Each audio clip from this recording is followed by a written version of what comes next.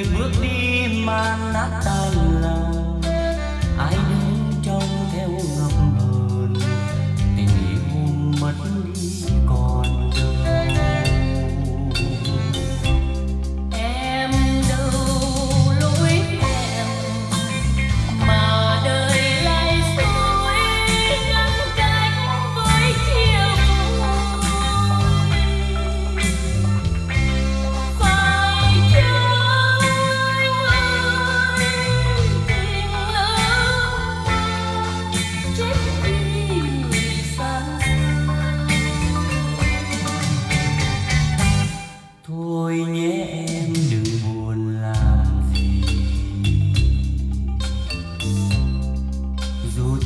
thít vẫn là mình